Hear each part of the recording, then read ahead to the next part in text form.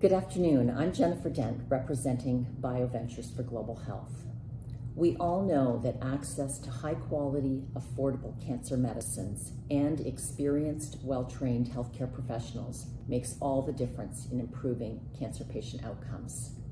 Unfortunately, in low and middle income countries, patients rarely have access to these critical resources. BVGH launched the African Access Initiative to improve cancer patient outcomes in Africa, and that's why I'm excited to be a part of the ATOM Coalition and to be representing BVGH at this launch event. Our team looks forward to sharing insights and best practices and to positioning our training programs to complement and build on other coalition partners' healthcare strengthening activities.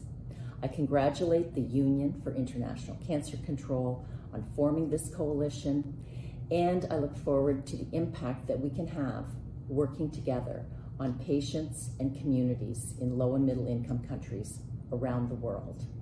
Congratulations.